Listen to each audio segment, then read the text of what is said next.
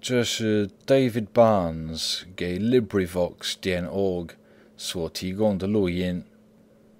英国伦敦，二零零六年五月。唐诗三百首，卷一。二，感遇四首之二。张九龄。兰叶春葳蕤，桂花秋皎洁。